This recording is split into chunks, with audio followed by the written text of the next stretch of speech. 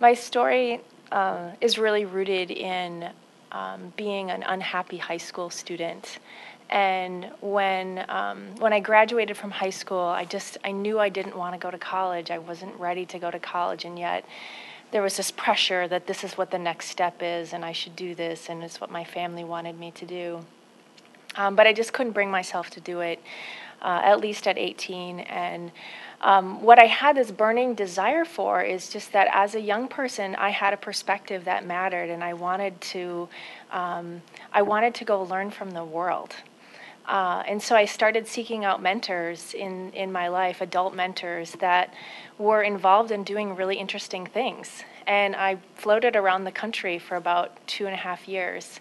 Um, I spent six months in Philadelphia working in um, uh, with tutoring programs in urban settings, and I was from small town rural Minnesota. So this is my first time and using public transportation, and my first time, you know, you know, I was a minority there as a, a white middle class girl, essentially, in a prim- predominantly African American community.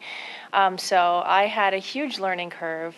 Um, but what I learned um, really was that I had more, uh, that I didn't have as much to give as I thought, and that, um, how would I say this? I, I learned to be a learner.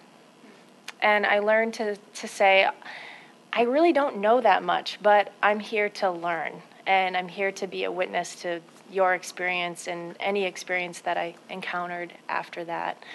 Um, and so, as I floated around for a few years, getting real world experience, I really realized that, oh, maybe I do want to go to college. Maybe I want to get some grounding and theoretical knowledge um, to what I was seeing in the world and the broken systems and the social problems, um, hunger, poverty, um, you know, classism and racism and I, I, was just sort of filled up to here with like, okay, now what do I do? You know, I, I kind of went and witnessed this stuff.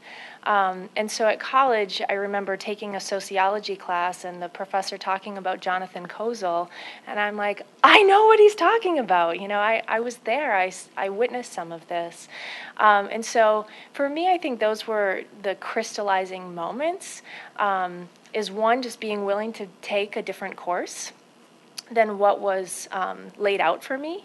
And then, secondly, um, going back and getting more skills in order to say, okay, well, now what do I do with all this knowledge of, you know, I have the theoretical knowledge, I have some experiential knowledge. Um, what can I do with this marriage of these two things in the world? Um, and so I think it led me to take an unconventional approach at times and just to not necessarily accept what was what I could either see um, or what people were telling me to do or believe. Um, so that was maybe my starting point.